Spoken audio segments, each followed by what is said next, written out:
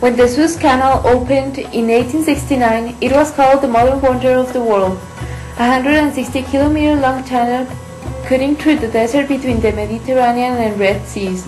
A voyage from Europe to India was shortened from six months to less than six weeks. But there was a problem. Egyptian money and Egyptian slave labor helped build the canal.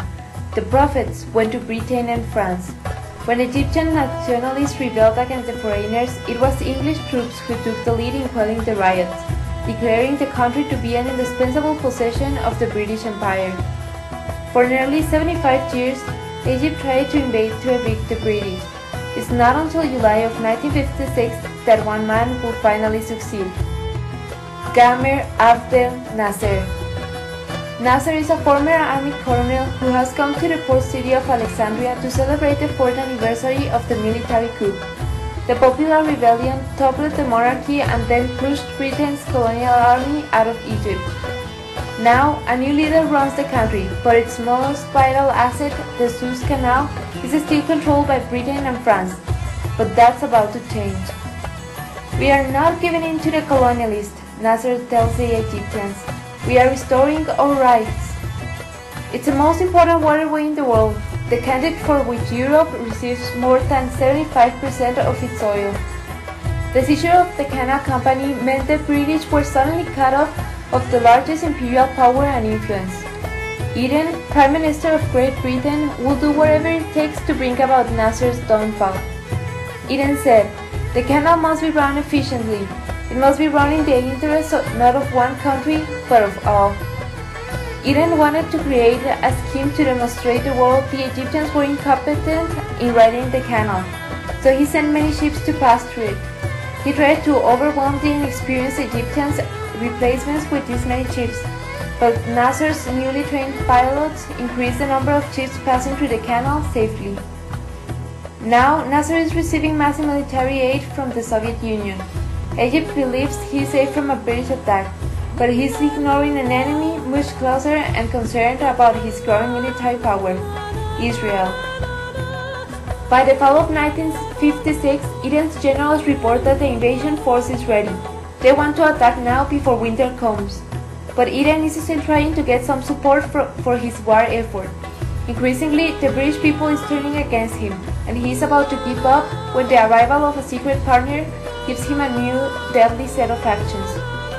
In the fall of 1956, Ben Gurion is given an opportunity to strike first. He is invited to a secret meeting with the top French officials in a villa outside of Paris. Here he is presented with a big plan to invade Egypt.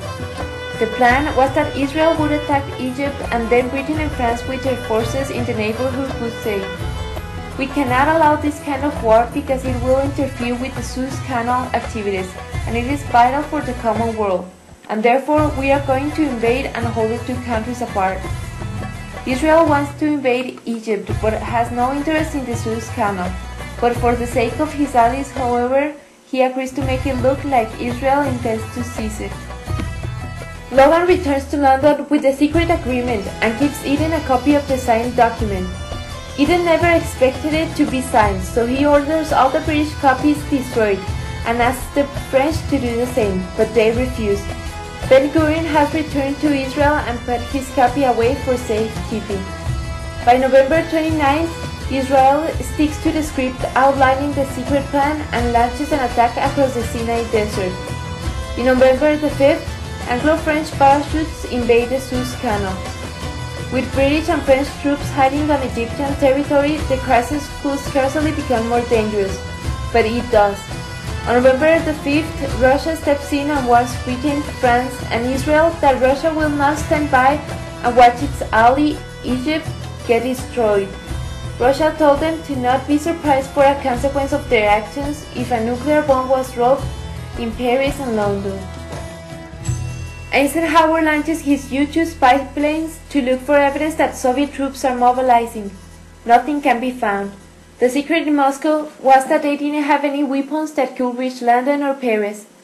The cost of mobilizing the troops has almost left the country in bankrupt, and by the time British ar armed forces hit the beach, the fight is already over.